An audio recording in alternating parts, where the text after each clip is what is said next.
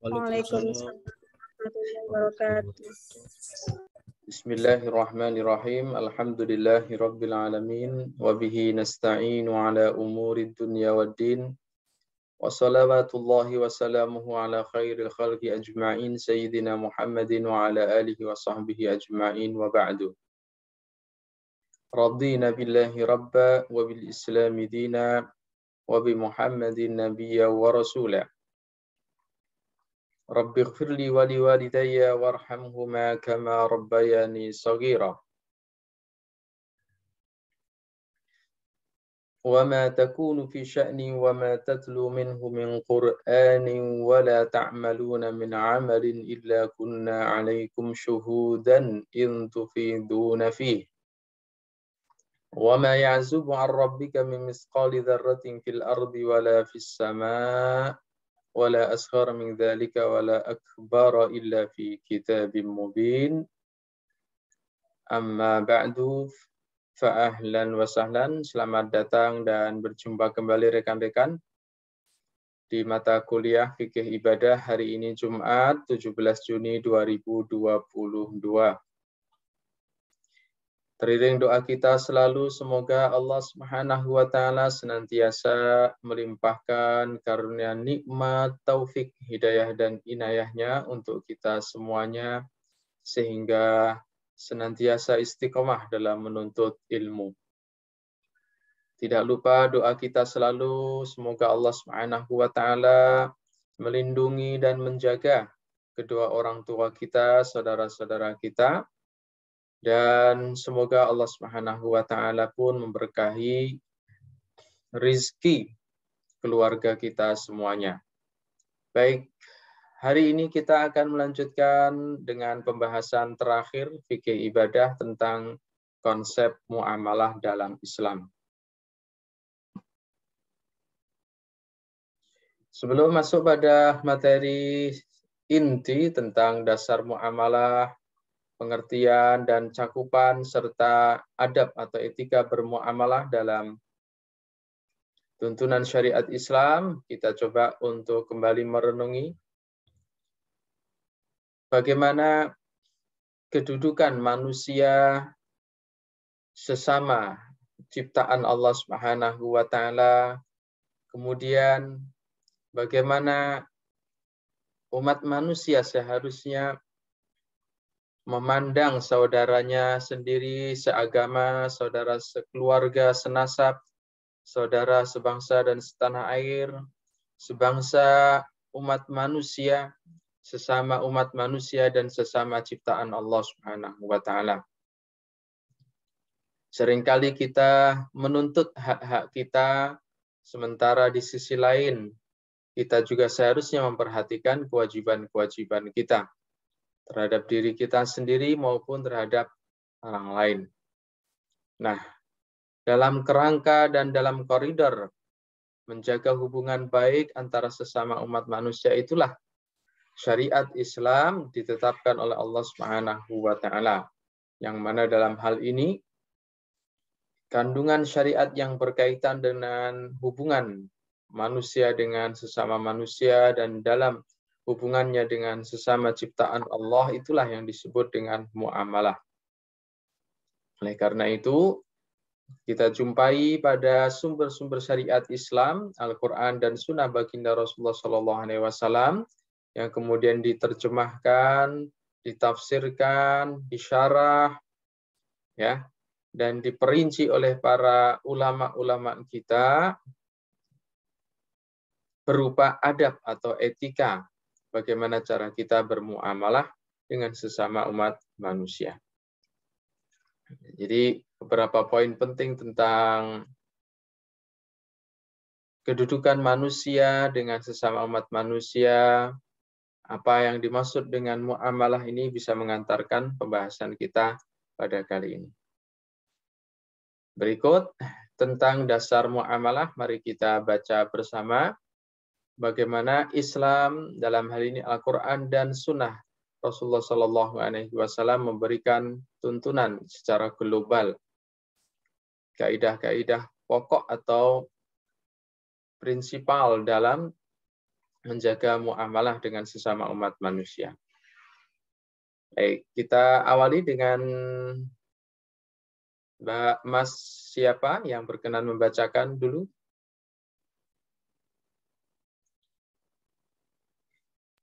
Saya, Pak. Baik. Kompak siap, kompak sekali tadi siapa nih? Mbak Zahra dan Mbak? Saya, Pak. Ya, Mbak Iim, Mbak Imas, silakan. Siapa Pak Zahra atau saya? Baik, silakan Mbak Imas. Nah.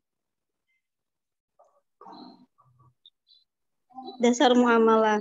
Ada banyak ayat dan hadis yang mengandung tuntunan bermuamalah manusia. Di antaranya adalah wat taqwa wa la ta'awanu 'alal ismi wal 'udwan. Al-Maidah ayat 2.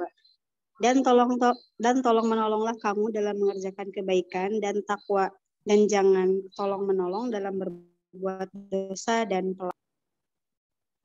Baik. Ada banyak ayat dan hadis yang mengandung tuntunan bermuamalah antar sesama umat manusia. Meskipun barangkali rekan-rekan jarang atau tidak ada sama sekali ayat yang menggunakan istilah muamalah. Ya. Yang ada hanya mungkin amal solihah gitu ya. Innal ladzina amanu wa amilus solihati wa akhbatu ila rabbihim Innal ladzina amanu wa 'amilus solihati khairul bariyah illa alladzina amanu wa solihat. Nah, banyak ayat yang berbicara dan menyebut secara langsung amal soleh.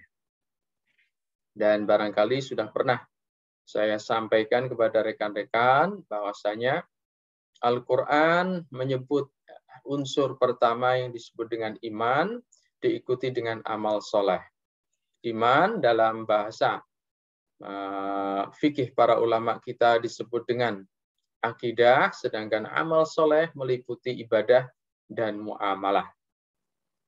Jadi uh, dasar muamalah itu dalam lingkup atau di bawah ruang lingkup namanya amal soleh yang terdiri dari ibadah dan muamalah manakala kita membedakan antara ibadah dan muamalah. Pak Sugeng, kapan kita menyebut muamalah sebagai bentuk ibadah? Hmm. Saya kira rekan-rekan sering mendengar dan menyimak ya, bahwasanya setiap kegiatan aktivitas nah, amal yang dilakukan seorang insan mukmin muslim itu bisa bernilai ibadah.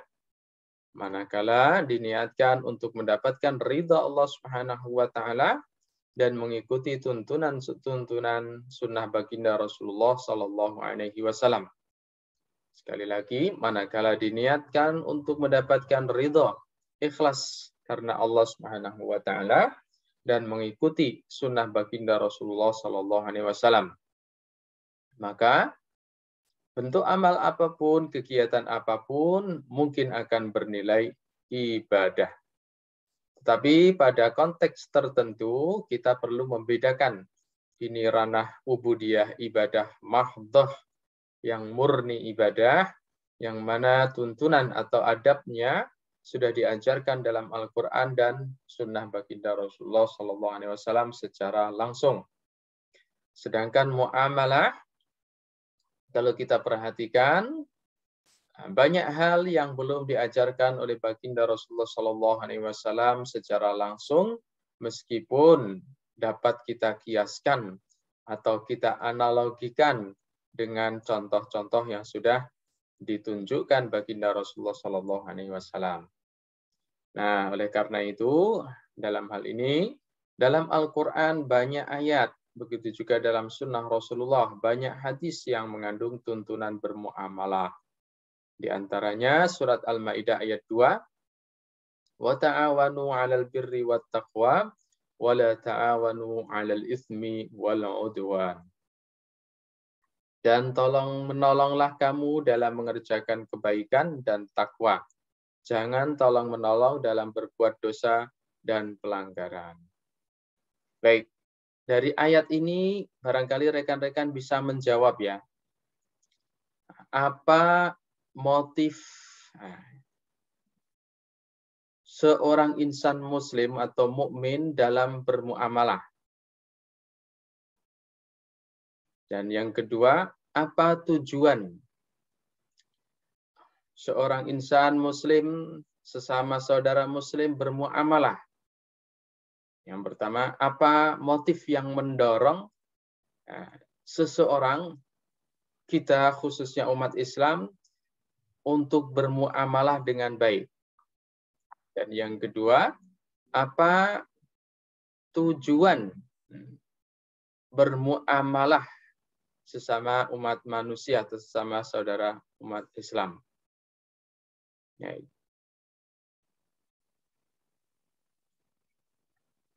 Di dua pertanyaan tadi rekan-rekan bisa menjawabnya melalui surat Al-Maidah ayat 2 tadi. Kira-kira apa? Rekan-rekan ada yang mungkin menangkap jawabannya dari surat Al-Maidah ayat 2 apa motif ya, yang mendorong umat Islam untuk bermuamalah dengan sebaik mungkin dengan sesama kebaikan. Ya. Kebaikan, Mbak Imas tadi ya. Kebajikan dan takwa, Pak. Dan takwa, baik. Di sana ada dorongan dan motif nah, untuk nah, bertakwa dan berbuat baik. Nah, di antara perbuatan baik dan ketakwaan itu indikatornya barangkali adalah saling tolong menolong, ta'awun ya. Kemudian apa tujuan akhirnya nah, dari ketakwaan dan perbuatan baik itu? Wa ta'awanu 'alal birri wat taqwa. Untuk apa? Ya. Kita bekerja eh, sama tolong menolong eh, dalam kebaikan dan ketakwaan.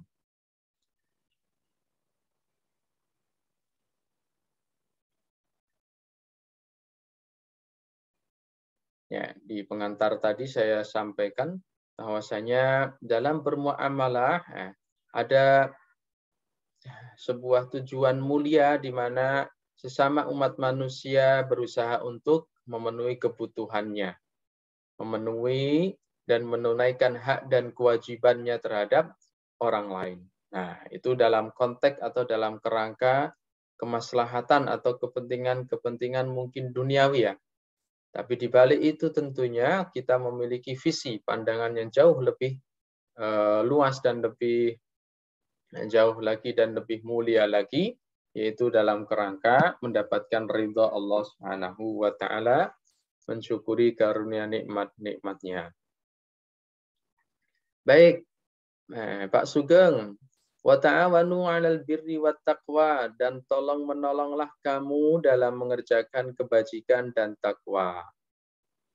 Nah, kenapa perlu diulang lagi dengan larangan? Jangan tolong menolong dalam berbuat dosa dan pelanggaran.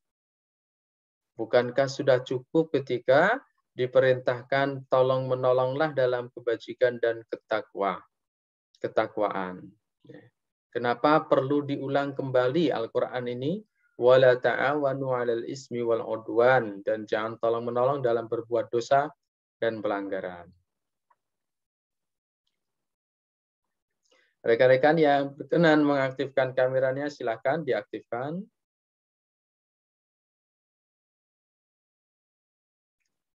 Dan barangkali ada yang pernah membaca atau menyimak atau punya jawaban. Nah, rekan-rekan bisa eh, coba berpikir, mencermati. Ada perintah diikuti dengan larangan. Itu sebenarnya maksudnya apa?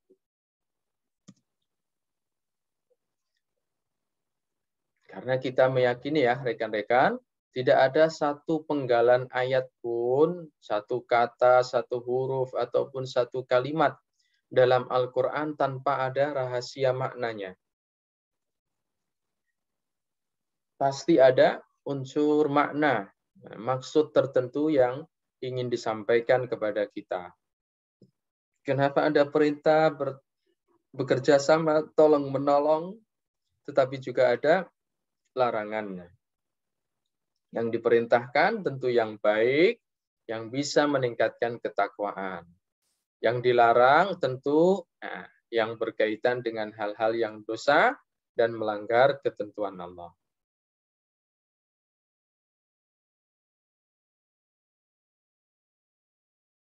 Saya coba barangkali ada yang menemukan jawabannya.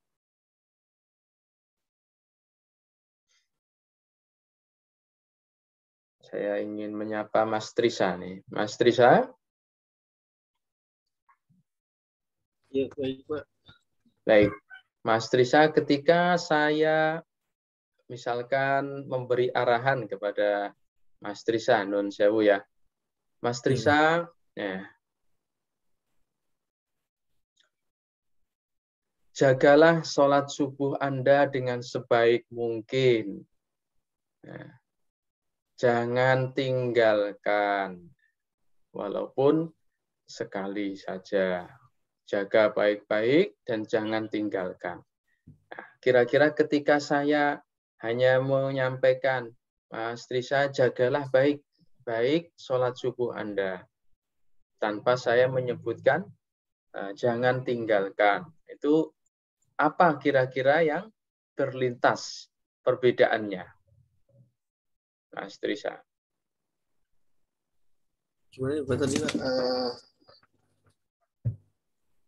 atau mungkin contoh sederhana, Mas Trisa, eh, silakan makan eh, nasi dengan lauk pauk, tahu, tempe sesuka Anda. Jangan makan eh, daging babi, daging anjing. Jadi ada perintah, ada larangan. Ada larangan. Ya. Dan keduanya disebutkan Kenapa kira-kira? Nah, perhatikan Mas eh, istri saya. Dalam diri kita, dalam jiwa manusia itu ada dua nafsu yang sedang nah, eh, atau senantiasa bergejolak. Nafsu ingin terus, sebenarnya itu nafsu ingin mendorong kita berbuat baik, tapi di balik itu ada nafsu yang mendorong kita juga berbuat buruk atau maksiat. Nah, syariat, akidah syariat Islam kita menginginkan kita itu berbuat baik sekaligus meninggalkan yang buruk. Nah, jangan sampai kita berbuat baik, kemudian kebaikan kita kita hapus dengan keburukan kita. Ya, ya, oleh karena itu barangkali rekan-rekan sering dengar berapa banyak uh, seseorang berbuat baik tapi pada akhirnya kemudian hilang pahalanya karena hanya gara-gara gibah, hanya gara-gara hmm, satu kesalahan yang kemudian menghapus kebaikan-kebaikannya itu. Ya, oleh karena itu dalam hari ini ayat ini pun juga menegaskan kepada kita kita sudah tolong menolong dalam kebaikan tapi kebaikan dan ketakwaan yang sudah kita lakukan itu dijaga baik-baik. Ya, jangan sampai kita kotori, kita nodai dengan tolong menolong dalam perbuatan dosa. Ya, makanya mungkin Mas Trisa, Mas Akil dan rekan-rekan kalau di masyarakat kita mungkin ada seseorang yang gemar sekali berbuat baik, tapi maksiat dan dosanya juga tidak kalah baik atau banyaknya. Oleh karena itu, Islam tidak demikian. Islam uh, menyuruh kita, memerintahkan kita berbuat baik sebisa mungkin, tetapi juga melarang kita untuk melakukan kemaksiatan atau dosa. Baik, jadi dalam konteks bermuamalah juga demikian rekan-rekan. Kita berbuat baik terhadap orang tua kita dan jangan sampai ya, sekalipun kita Ah, menyakiti hati mereka. Ya, karena boleh jadi orang akan mengelak eh, dan berhujah, berdalih. Saya berbuat baik kepada saudara saya, kepada teman saya, nah, tapi dia belum bisa mengontrol diri, menyakiti hatinya, menyinggung perasaannya, atau menjatuhkan marwah eh, nama baiknya. Islam tidak demikian mengajarkan kita berbuat baik sekaligus ah, mengontrol kita agar tidak berbuat maksiat atau dosa.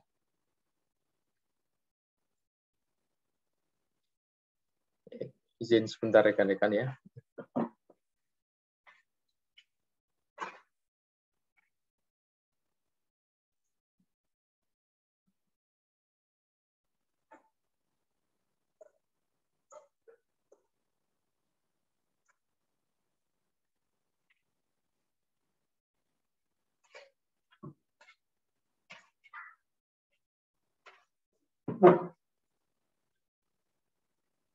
Baik.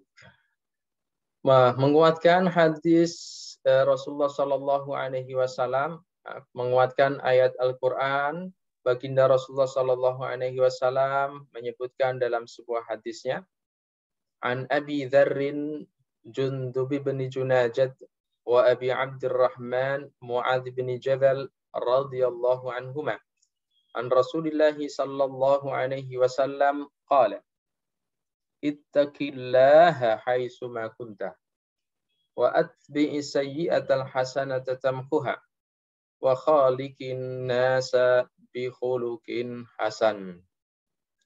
Nah, silakan rekan-rekan yang berkenan membacakan kembali baik matan bahasa Arabnya maupun terjemahannya atau salah satunya silakan Mbak Zahra masih bersama kita? Masih Bapak. Oke, silakan Mbak Zahra bisa dibacakan kembali hadisnya atau terjemahannya saja. Uh, iya Pak, baca terjemahannya saja Pak. Silakan.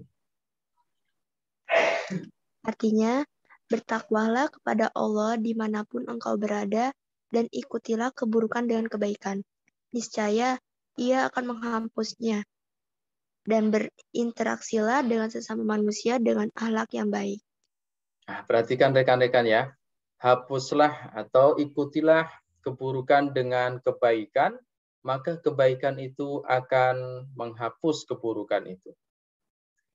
Rekan-rekan coba perhatikan, ada video pendek seorang guru, ibu guru mengajak anak-anak didiknya, anak TK ini ya, untuk memperbanyak istighfar. Anak-anak tentunya bingung, kami masih anak-anak, kenapa harus beristighfar dalam rangka mengajarinya. Kemudian tujuannya adalah untuk menunjukkan betapa dahsyatnya istighfar itu membersihkan jiwa kita dan hati kita. Anak-anak ditunjukkan dengan sebuah ilustrasi sebagai berikut. Rekan-rekan perhatikan ya.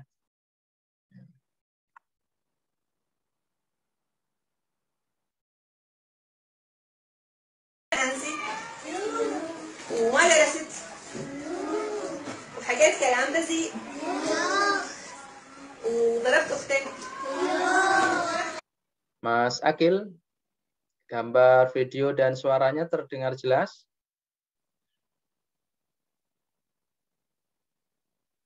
Mbak Fitriani? Terdengar, Pak. Terdengar, Pak.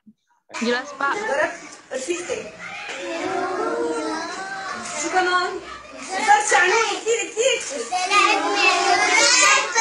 Jadi eh, yang pertama gelas ini tadi kosong, ya. kemudian diisi dengan air Coca-Cola atau air teh tadi yang tidak disebutkan. Nah, ibu ini akan menunjukkan bagaimana air putih yang jernih akan bisa membersihkan teh ini. Nah, ini sebuah ilustrasi bagaimana hati kita itu kalau terus kita jaga dengan kebaikan-kebaikan, meskipun ada keburukan dalam hati kita, noda, maka noda itu pun juga akan bersih dengan kita hapus dengan kebaikan-kebaikan kita. تمام شو صار بي شو صار بقلبك؟ لحظة كيف كيف تبيتوا لقلبي هيك هلا؟ برافو عليك احسنت يلا استغفار نستغفر كلياتنا سوا؟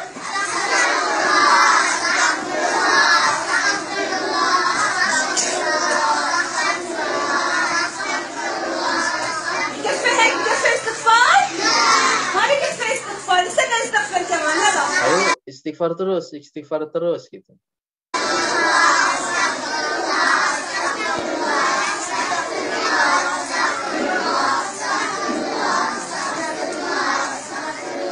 perhatikan rekan-rekan, airnya yang tadinya nah, eh, keruh sekali ya, coklat hitam. Nah, eh, lama kelamaan akan berubah nah, sedikit demi sedikit kembali bersih atau jernih. Nah, itu katanya ini karena istighfar, bukan karena air. Masa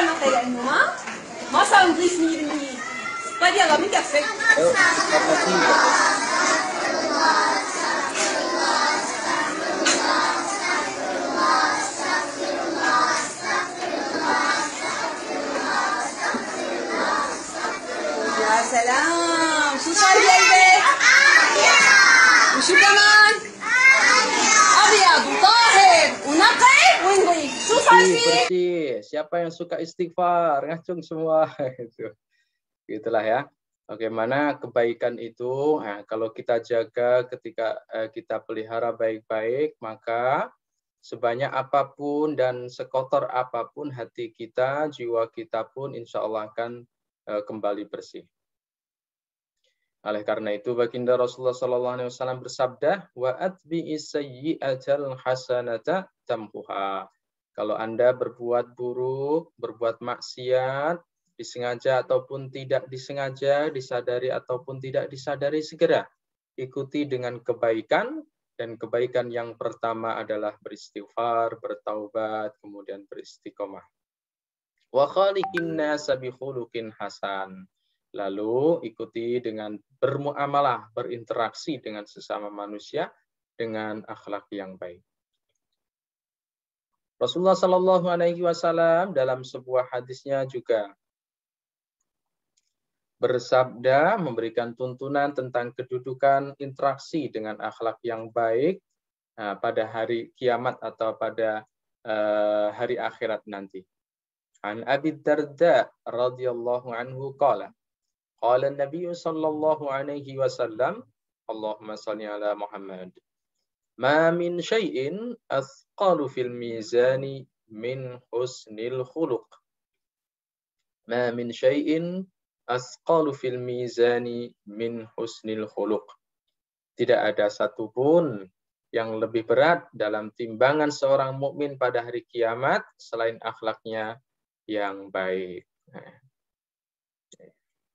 Silakan, ada yang berkenan membacakan terjemahannya atau hadisnya sekaligus? Mbak Sylvia, nggih, silakan. Saya mau membaca terjemahannya, Pak. Baik, nggih. Uh, terjemahannya adalah tidak ada sesuatu yang lebih berat dalam timbangan seorang mukmin pada hari kiamat selain akhlaknya yang baik dari hadis riwayat Abu Daud dan Tirmizi. Wah, lalu bagaimana dengan amalan-amalan ibadah kita yang lain, Pak Sugeng? Ah, jangan khawatir. Jangan khawatir. Kenapa?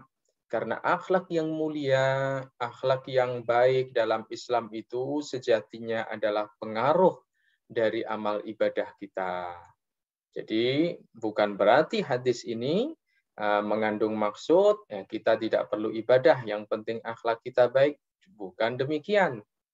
Tetapi akidah kita harus kita jaga dengan sebaik mungkin.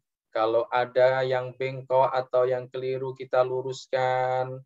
Kemudian akidah itu kita implementasikan dalam ya, amalan-amalan ubudiyah, sholat, puasa, zakat, dan ibadah-ibadah yang lain, buah dari akidah dan ibadah itu tiada lain adalah akhlak yang mulia.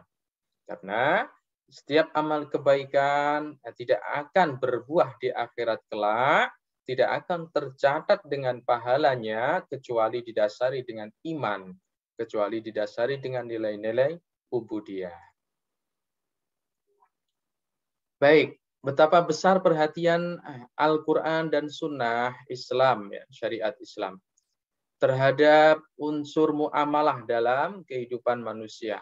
Bahkan kalau kita bandingkan rekan-rekan, nah, antara jumlah ayatnya saja ya, jumlah ayatnya ya, belum eh, konteksnya, belum tekstualnya, jumlah ayatnya saja antara ayat-ayat ibadah dalam Al-Quran dengan ayat-ayat muamalah rekan-rekan bisa uh, melihat betapa banyak, jauh lebih banyak ayat-ayat yang berbicara tentang muamalah dibandingkan dengan ayat-ayat ubudiyah.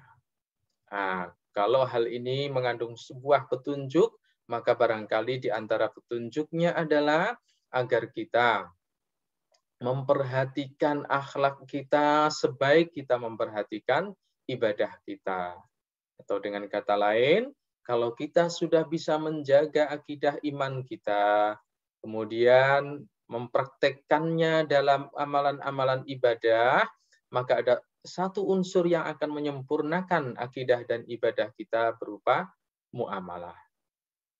Nah, rekan-rekan juga bisa mencermati dalam sehari semalam kita hanya dituntut nah, dengan satu kewajiban sholat satu kali lima menit atau sampai sepuluh menit, paling lama lima belas menit.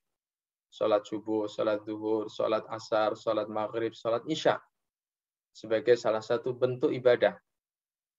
Selain itu, kalau kita kalikan ya, 10 menit kali nah, 5, 50 menit. Tidak ada satu jam. Sementara kita sehari semalam punya 24 jam. Artinya apa? 23 jam lebih itu adalah kesempatan kita mendulang eh, pahala melalui muamalah. Bermuamalah dengan eh, suami istri kita atau dengan bapak ibu kita, dengan guru, teman-teman kita, dengan masyarakat kita. Nah, demikianlah bagaimana Islam memperhatikan dengan sebaik mungkin unsur muamalah.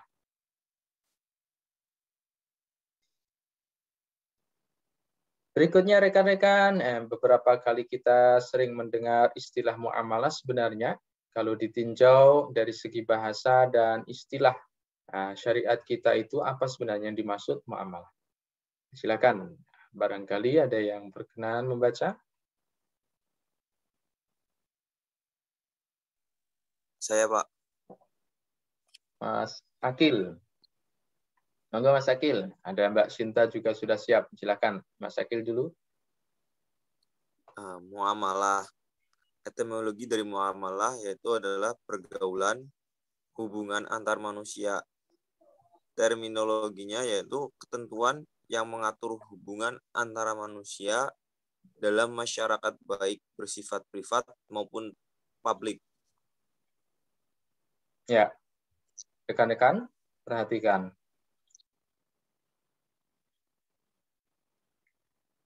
Dalam bahasa kita, muamalah itu juga sering disebut dengan pergaulan. Bergaul. Tapi dalam istilah Arab, muamalah itu diambil dari amal. Amalan. Pekerjaan. Tapi bentuk kata atau sigoh ya dalam bahasa. Bentuk kata muamalah itu dari kata kerja amala yu'amilu muamalatan ah, saling bekerja. Itu kalau diterjemahkan secara letterlek. Artinya apa? Apa pun bentuk muamalah itu ada dua uh, unsur ada dua pelaku. Pelaku pertama dan pelaku kedua saling mempengaruhi. Makanya disebut muamalah. Ada hubungan, pergaulan satu orang dengan yang lain. Nah, oleh karena itu dalam pengertian terminologi istilah syariat kita, yang dimaksud dengan muamalah itu ketentuan. Ketentuan yang ditetapkan Allah dan Rasulullah yang dijelaskan para ulama-ulama kita mengatur hubungan kita manusia dalam bermasyarakat. Nah, masyarakat ini diawali tentunya dalam skop keluarga. Baik eh, yang mengatur bersifat privat dalam keluarga maupun publik dengan sesama eh, penduduk atau anggota masyarakat tertentu. Nah, ketentuan-ketentuan inilah yang dimaksud dalam uh, fikih muamalah atau konsep muamalah. Baik. Kalau kita lihat ruang lingkup apa saja yang tersentuh atau dibahas dalam fikih konsep muamalah, maka dari pengertian tadi kita bisa menarik kesimpulan. Konsep muamalah dalam syariat itu meliputi aspek privat nah, yang berkaitan dengan maliyah, harta benda, kekayaan. Kemudian yang kedua ahwal syahsyah, hukum keluarga. Kemudian bagian yang kedua aspek publik, umum masyarakat. Di sini ada ketentuan-ketentuan yang mengatur kasus-kasus jinayah, tindak pidana. Bagaimana cara menetapkan hukuman, sanksi, apa saja sanksi atau hukumannya. Siasah termasuk atau ahkam sultaniyah, perpolitikan atau ketatanegaraan. Itu juga ada aturannya dalam Islam. Dan juga eh, aspek-aspek lain yang masuk dalam ranah sosial atau publik. Jadi rekan-rekan dari sini kita sudah bisa menyimpulkan dan menguatkan kembali betapa ajaran syariat Islam ini benar-benar ya, ajaran yang sangat komplit, komprehensif, mengatur sisi akidah, iman, memberi tuntunan cara beribadah, bahkan sampai cara kita bermuamalah diatur. Dan pengaturan itu bukan dalam rangka untuk membatasi kita ya, tetapi untuk eh, menjaga kemaslahatan bersama. Nah, kaitannya dengan aspek maliyah. Silakan, apa yang dimaksud dengan maliyah harta benda dalam konsep muamalah Islam ini bisa dilanjutkan, Mbak Sinta.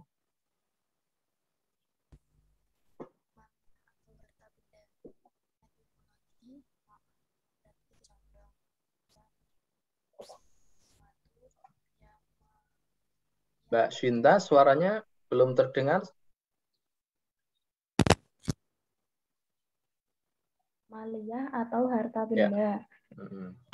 Secara etimologi artinya ma'al berarti condong. Secara terminologi, segala sesuatu yang mengaliri manusia cenderung kepadanya dan dapat disimpan dalam waktu tertentu. Nah, maaf ini secara bahasa maliyah itu diambil dari mal gitu ya. Nah, begini. Bukan mal. Mal yang kemudian kita eh, terjemahkan dengan uh, arti condong. Jadi kalau mal itu diterjemahkan dengan harta benda, apa hubungannya dengan makna condong, Mbak Sudah? Karena seseorang, eh, lebih condong menyukai kekayaan. Manusia itu sangat condong, artinya suka ya, memiliki harta kekayaan. Oleh karena itu, harta benda kekayaan dalam bahasa Arab disebut dengan mal. Dan demikianlah rekan-rekan. Kosakata bahasa Arab itu terutama yang dipakai istilah-istilah khusus itu mengandung makna yang cukup dalam sebagai filosofis eh, bahasanya. Nah, mal, kenapa mal itu disebut dengan mal? Kenapa harta benda itu dalam bahasa Arab disebut dengan mal? Karena manusia itu suka dengan kekayaan. Itu fitrahnya. Secara istilah atau terminologi, segala sesuatu yang naluri manusia, zauknya, cenderung kepadanya, condong menyukai dan dapat disimpan dalam waktu tertentu. Nah, ini sudah masuk pengertian secara istilah fikih. Nah, ada sesuatu yang kita sukai, kemudian benda itu bisa eh, tahan lama, kita simpan. Nah, perhatikan, uang bisa kita masukkan dalam rekening, kita simpan. Emas nah, bisa kita beli, kemudian kita simpan. Aset tanah, rumah juga demikian segala sesuatu yang berkaitan dengan nah, eh, kecenderungan manusia atau naluri manusia menyukainya bisa disimpan itu dalam fikih sudah disebut dengan mal. Oleh karena itu nanti rekan-rekan kalau mencermati kembali dalam fikih zakat, di sana ada zakatul mal, zakat kekayaan. Eh, jadi tidak hanya uang emas perak saja yang dizakati, karena hasil usaha, hasil dagang, hasil pertanian, peternakan, bahkan eh, barang tambang, eh, semuanya bisa masuk dalam kategori mal atau kekayaan yang kemudian jika sudah mencapai nisab atau batas minimal akan dijakati. Unsur harta. Nah, ini sifat-sifat benda yang layak disebut sebagai harta. Berikutnya silakan yang berkenan membaca. Mbak Sarifatul, ya silakan. Baik, Pak. Unsur harta. Satu, bersifat materi. Dua, dapat disimpan untuk dimiliki. Tiga, dapat dimanfaatkan. Dan empat, kebiasaan masyarakat memandangnya sebagai harta. Ya, ini ada empat kriteria suatu benda itu bisa bernilai harta dalam konsep fikih Islam kita. Ini penting rekan-rekan agar kita bisa memahami eh, lebih dalam tentang konsep-konsep eh, yang berkaitan dengan harta benda. Mungkin zakat, mungkin warisan, mungkin nah, eh, bentuk-bentuk kekayaan yang lain. Baik. Berikut ada dua slide yang mungkin bisa memperjelas nah, beberapa pembagian harta sebagai berikut. Dari pembagian harta berdasarkan aspek perlindungan syariat. Bagaimana syariat melindungi itu? Mbak Fitriani, silakan coba eh, bisa dibaca. Baik, Pak. Jenis harta aspek mulai dari aspek ada perlindungan syariat, jenis hartanya harta yang halal dimanfaatkan dalam kurung maaf mutakawin. Yeah. Terus konsekuen hukum harta yang tidak halal dimanfaatkan dan tidak boleh dijadikan objek transaksi. Namun tidak mutlak artinya bisa dijadikan objek sepanjang ada indikasi kuat bahwa Tujuan transaksi bukan untuk hal yang dilarang syarah. Syarat ya, Pak? Ya. Contohnya, syariat. syariat. Hmm. Example, uh, doggy herder. Anjing, anjing herder. Terus ada jenis harta, B. Harta yang tidak halal dimanfaatkan atau mal goyi rumut takin. Nah, kontekstual hukumnya pengurusan terhadap harta goiru mutakin tidak mengakibatkan hak menuntut ganti rugi. Contohnya ada seluruh harta yang haram. Nah, ini ini eh, apa, pembagian harta dari aspek perlindungan syariat. Jadi eh, mungkin rekan-rekan pernah mendengar ya. Man qala la ilaha illallah faqad istabra'a li dinihi wa irdihi wa mali.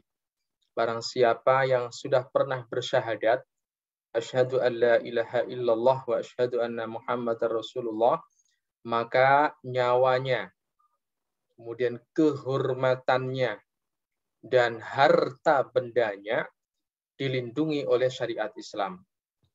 Maka tidak boleh seorang pun uh, mengambil atau merampas harta benda saudaranya yang muslim nah,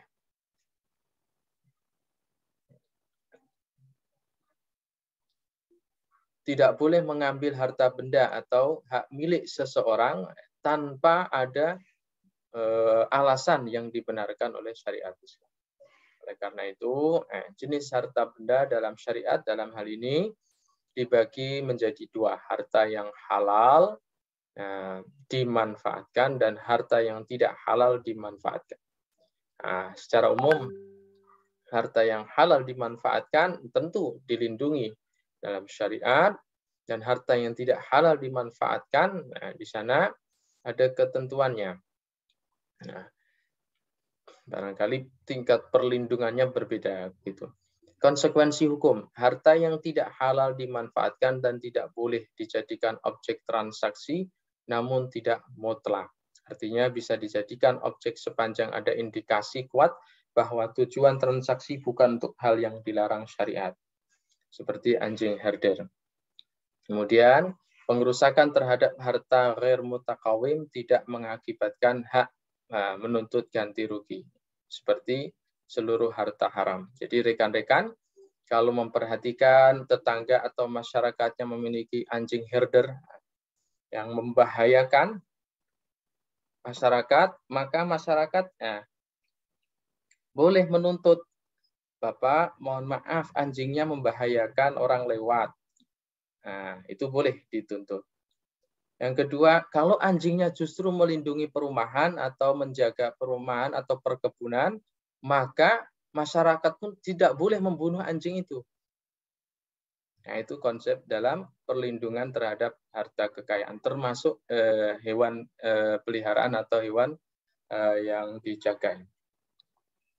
Nah, adapun eh, benda yang halal, eh, yang tidak halal, yang haram, maka secara umum, eh, secara umum kebanyakan seluruh harta haram itu kalau sampai ada kerusakan, maka eh, yang bersangkutan merusak tadi ya, boleh jadi tidak dikenakan ganti rugi. Karena sesuatu yang haram dalam Islam tidak ada manfaatnya secara umum.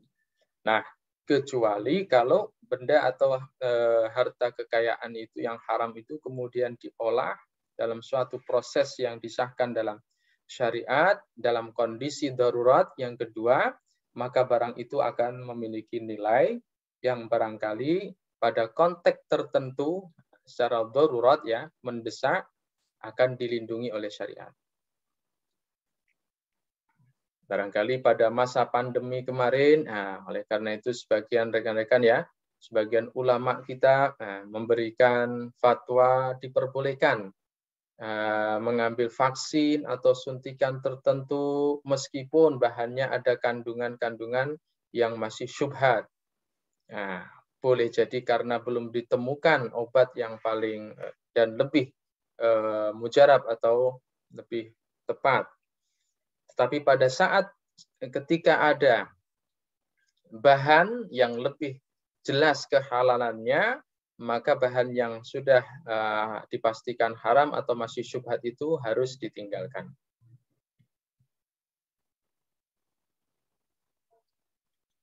Kemudian pembagian harta kekayaan dari aspek kemungkinan dapat dipindah. Nah, silakan berikutnya dari Mbak Fitriani kita Mbak Din, Susila, Mbak Ucu Din. Ya. Aspek yang kedua yaitu kemungkinan dapat dipindah jenis hartanya, harta tetap tidak bergerak mal al-ikar.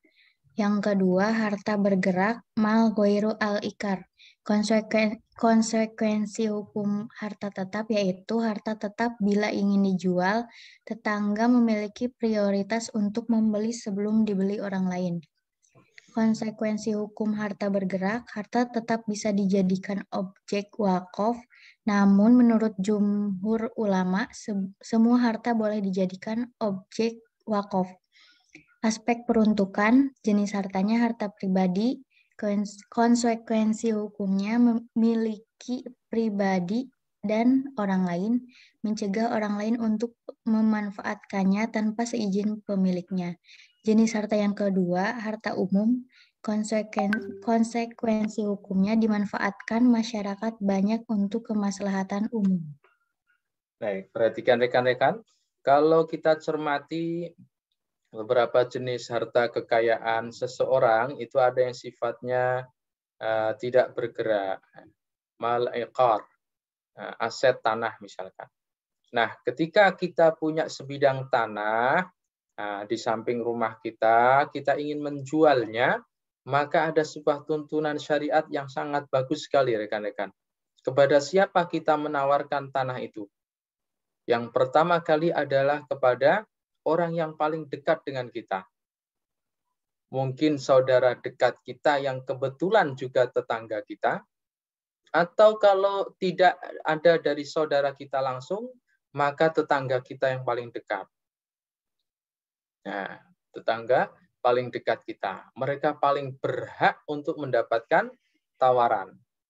Nah, oleh karena itu Mbak Ucudin, Mbak Fitriani, dan rekan-rekan yang lain, kalau nanti Mbak Fitriani menjadi seorang miliarder, nah, pengusaha sukses, memiliki tanah atau aset apa pun ingin dijual, maka orang yang paling berhak Anda tawari pertama adalah saudara Anda.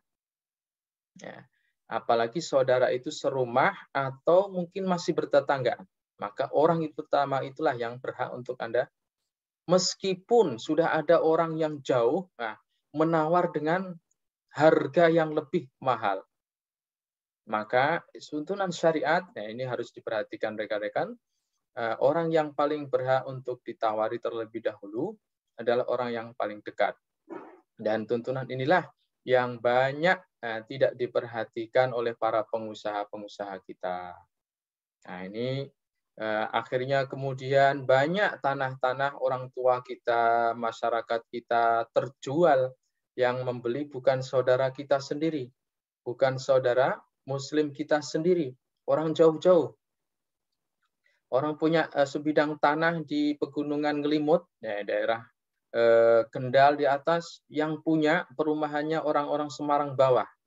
Dan ternyata bukan sama, sesama saudara muslim Nah, itu sangat disayangkan sekali. Padahal persis di samping masjid. Kita tidak bisa membayangkan bagaimana nanti kalau masjid itu sampai dibeli oleh orang non-muslim ya, dalam masjid itu. Nah, eh, jadi demikian ya ketentuan-ketentuan syariat itu sekali lagi sebenarnya bukan untuk membatasi atau eh, merugikan bahkan ya, umat Islam, justru untuk melindungi kemaslahatan eh, keluarga dan masyarakat.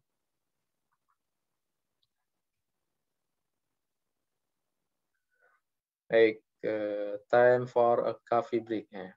Saya sudah habis kopi saya. Oke, rekan-rekan, barangkali sampai di sini dulu. Nah, mungkin ada yang ingin didiskusikan atau ditanyakan tentang Eh, konsep awal tentang muamalah yang berkaitan dengan muamalah maliyah. Ya, dan kita baru sampai pada jenis-jenis harta dan hukum-hukumnya. Saya mau izin bertanya Pak, cuman agak sedikit mungkin menyimpang dari Baik, silakan. Oke, baik, Kalau bisa dijawab, kalau tidak bisa nanti mohon fatwanya eh, Buya, Buya Yahya saja. Pak mau menanyakan perihal tadi yang Bapak sampaikan di awal itu kan Allah itu setiap kali memerintahkan sesuatu pasti ada larangannya. Nah, uh,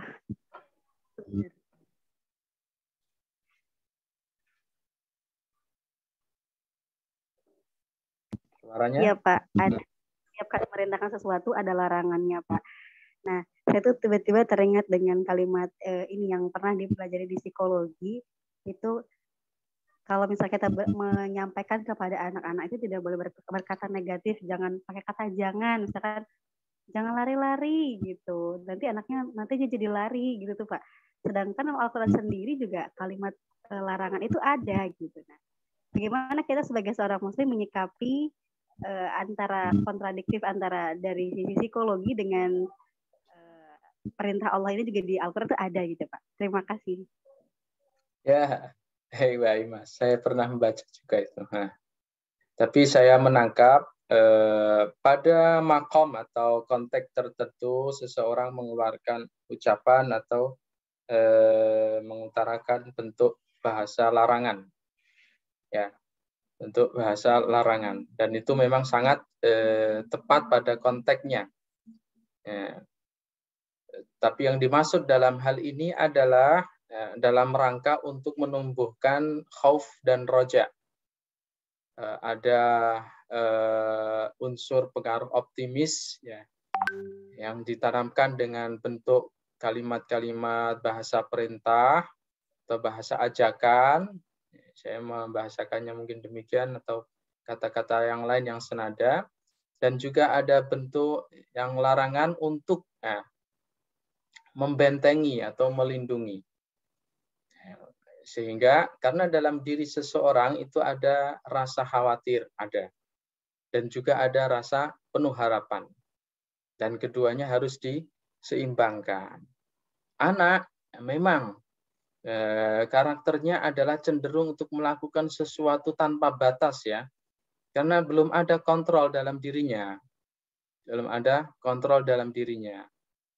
Nah, sehingga pada satu saat tertentu usia dua tahun setengah, tiga tahun setengah, nah ayo berdiri, nanti dia akan berdiri. Nah, tiba-tiba nah, ada air, genangan air kotor dari comberan dapur itu ya, turun ke comberan atau ke got itu, main seperti main di tempat air yang bersih. Dan ini terjadi, sering terjadi. Bahkan misalkan paku yang sudah karatan, dia tidak bisa membedakan ini barang apa. Gitu. Dia pegang eh, apa eh, paku itu, kemudian dimut. Di, paku yang karatan itu ya, masukkan ke mulutnya. Nah, di situlah eh, bagaimana orang tua eh, secara alami dia akan mengeluarkan eh, kata-kata arahannya itu. Dan kedua bahasa itu, eh, baik bahasa mengarahkan, memerintahkan, atau melarang, sama-sama dibutuhkan.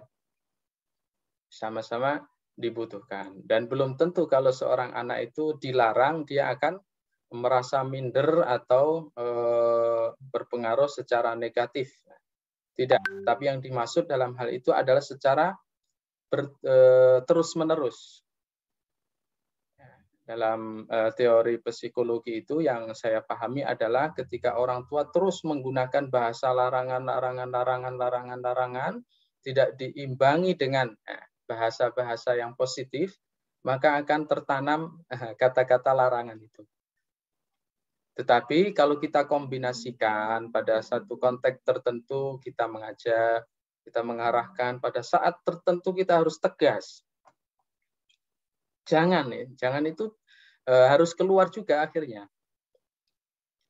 E, berarti kan Mbak Imas ya, misalkan ada colokan listrik di tembok itu. Kadang colokan listrik itu ada di bawah.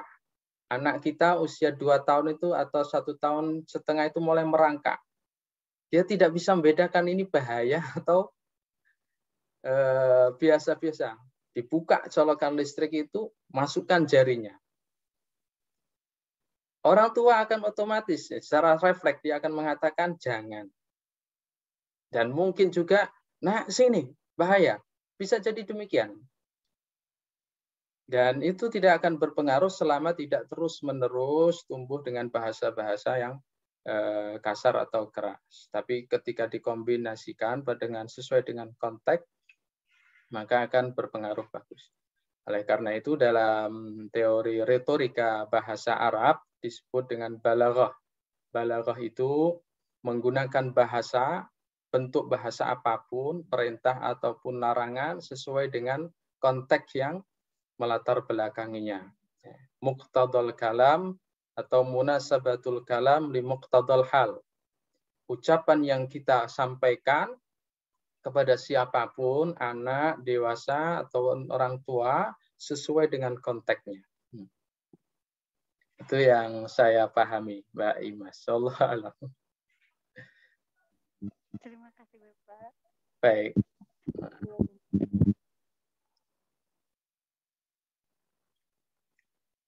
Ya, oleh karena itu mungkin bisa ditegaskan ya, rekan-rekan sering mendengar istilah atau pengertian takwa. Jadi apa pengertian takwa itu secara umum?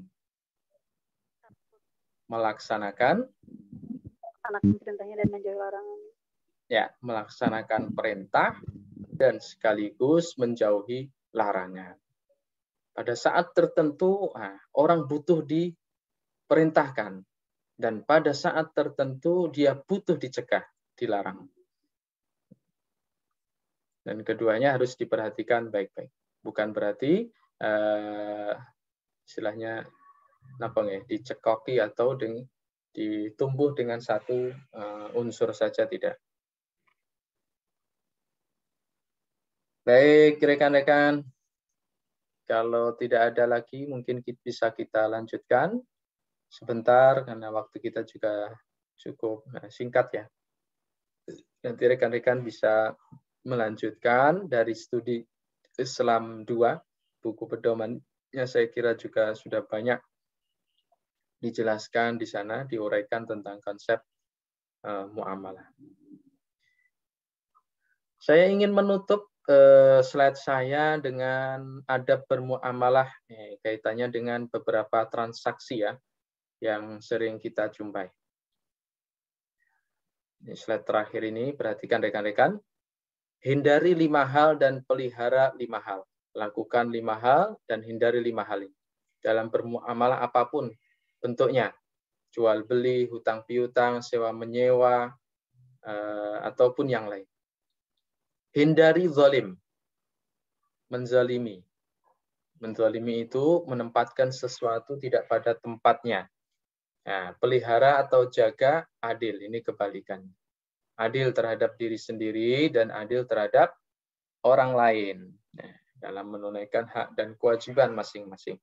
Jadi, kalau Anda ingin nah, melakukan transaksi jual beli online maupun offline, nah, pinjam meminjam online ataupun offline, sewa menyewa atau transaksi apa pun, maka jangan sampai ya, salah satu pihak ada yang merasa terdolimi.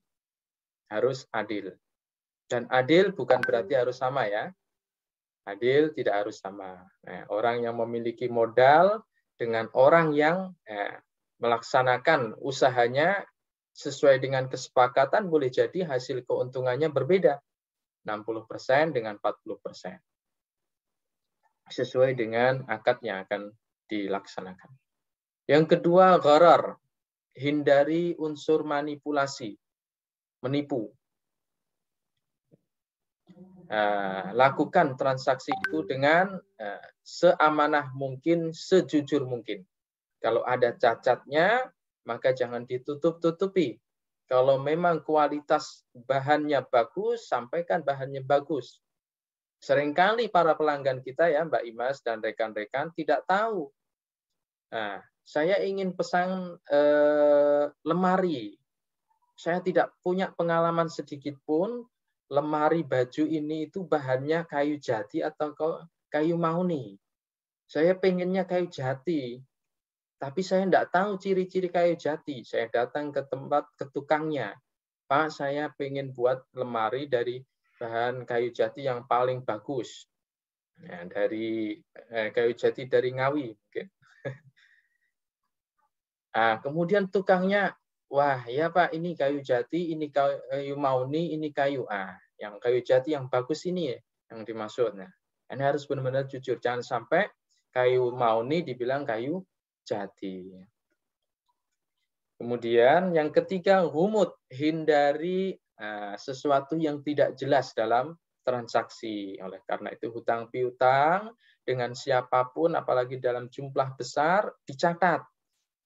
Nah, dicatat. Baik mungkin terhadap saudara kandung sendiri, atau mungkin dengan teman dekat, catat kalau bisa, apalagi jumlahnya banyak.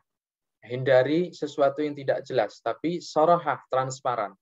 Ada bukti dan seterusnya. Yang keempat, hindari barang-barang yang halal, haram. Hindari barang-barang yang haram. Dan lakukan transaksi apa pun dengan barang-barang yang halal. Kemudian yang kelima, hindari riba dengan bentuk apa pun. Ya, kalau Anda ingin berusaha atau membuka sebuah usaha, lebih baik dan e, cari eh, transaksi-transaksi yang ada unsur baik jual beli. Ada unsur baik atau jual beli. Artinya apa? E, kerugian akan ditanggung bersama, keuntungan akan di bagi bersama-sama.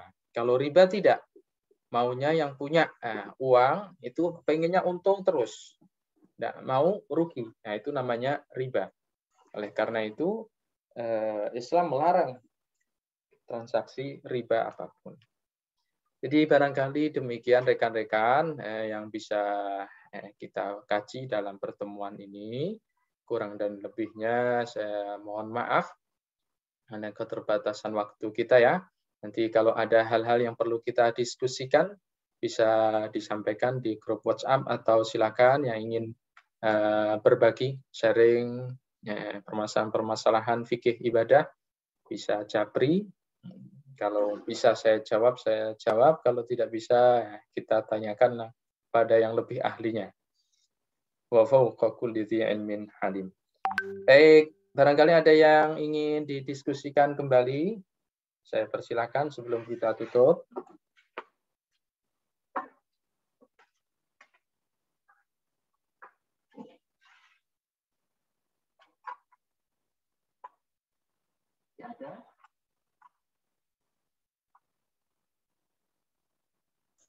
Pak izin bertanya. Ya, silakan. Mengenai jual beli mata uang asing uh, dengan jumlahnya kan sedolar bisa mencapai 15.000 pada um, pada tahun berikutnya. Nah, boleh boleh hukumnya boleh atau tidak kalau saya membeli dolar, dolar untuk mengambil keuntungan pada saat uh, rupiahnya nanti tuh pada saat rupiahnya melemah.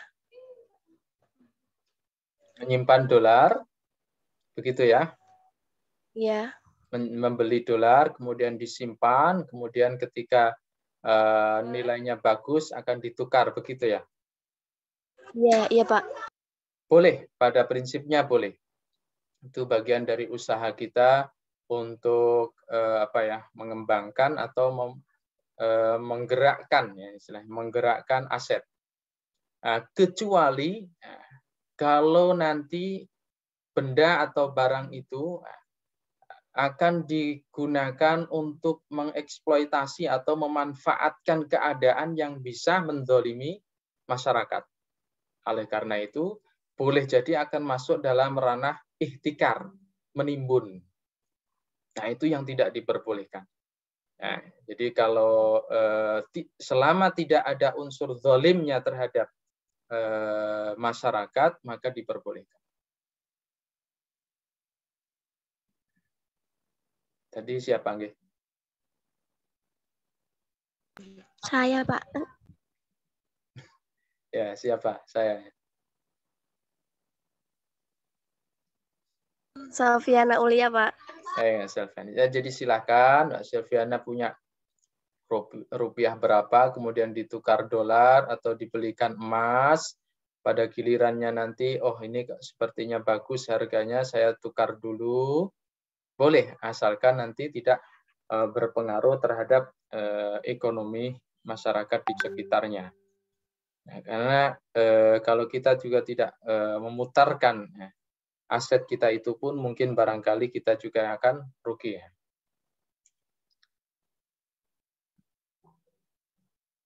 Kalau orang yang menjual belikan uh, barang yang haram itu hukumnya gimana, Pak?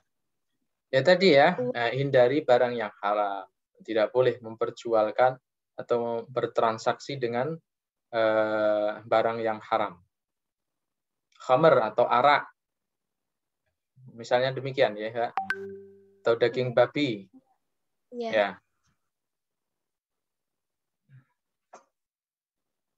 Tidak boleh.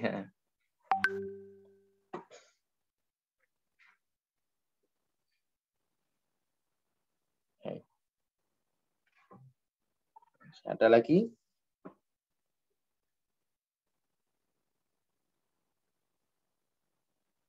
Bagaimana Pak Sugeng dengan uh, apa tujuan-tujuan medis yang lainnya? Nah, itu kasus-kasus uh, pengecualian. Ada uh, jadi lima hal ini prinsip umum ya. Ketika kita melakukan transaksi apa pun, maka Perhatikan lima hal ini sebisa mungkin dihindari, kemudian eh, lakukan jaga yang eh, lima hal selainnya itu. Pada kondisi-kondisi tertentu, nah, ketika ada keadaan-keadaan darurat, maka dalam hal ini nah, kita perlu merujuk kepada fatwa-fatwa tertentu. Ya, kita apa, minta fatwa atau bertanya kepada para ahlinya. Dalam konteks saat ini, bagaimana eh, Ustadz, nah, apakah saya masih diperbolehkan atau eh, eh, haram atau tidak diperbolehkan? Tapi secara umum prinsipnya demikian.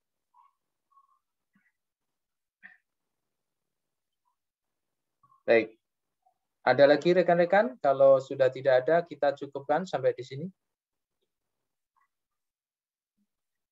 Oke, eh, mari kita tutup pertemuan kita dengan bersama-sama membaca hamdalah dan kafaratul majlis. Alhamdulillahirabbil alamin. Subhanakallahumma wa bihamdika asyhadu an la ilaha illa anta astaghfiruka wa atubu ilaik. Wassalamualaikum warahmatullahi wabarakatuh. Waalaikumsalam warahmatullahi wabarakatuh. Terima kasih, Bapak. Terima kasih, Pak.